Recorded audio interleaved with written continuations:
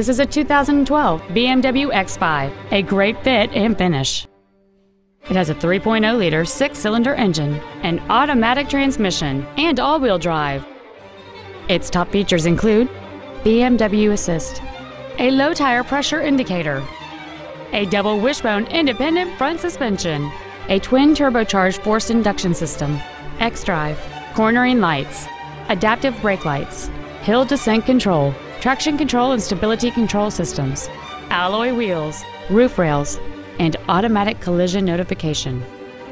The following features are also included air conditioning with automatic climate control, a split folding rear seat, cruise control, BMW individual composition, front and rear floor mats, side curtain airbags, rear seat childproof door locks, a service level indicator, full power accessories, and this vehicle has fewer than 50,000 miles on the odometer.